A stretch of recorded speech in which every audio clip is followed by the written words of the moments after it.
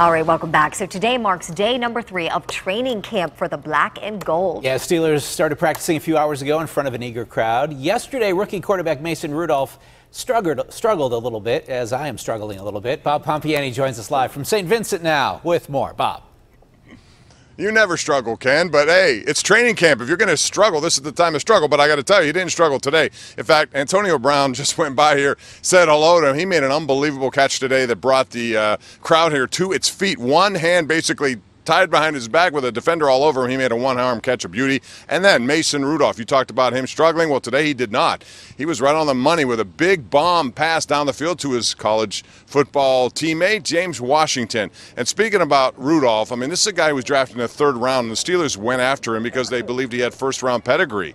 But it adds to the conversation about who will be Ben's backup this season.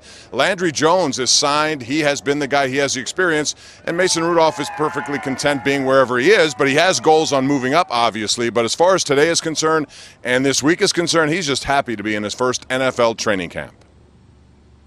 Just getting out here, getting the new, checking out how the new environment works, all the fans. It's kind of new to me, just just being here, that many of them. But it was great. I thought, um, you know, re- repeating a lot of the work we got in OTAs right now, but uh, definitely looked good as an offense. I thought.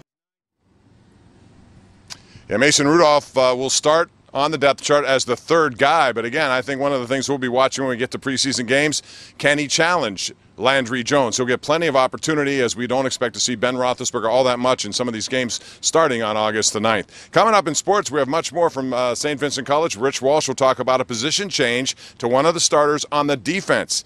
He'll have more on that coming up at 645. For now, this is Bob Pompeani live in Latrobe. Back to you guys at One Gateway Center.